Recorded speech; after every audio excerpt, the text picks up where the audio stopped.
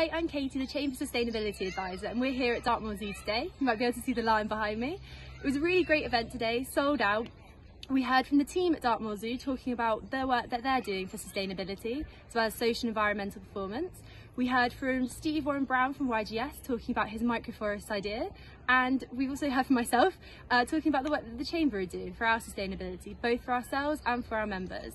As part of this, um, we've got our Carbon Net Zero Workshop series, the first of which was last week, focusing on an introduction to carbon, and that's recorded and available on our, on our Net Zero Hub, so you can catch up there.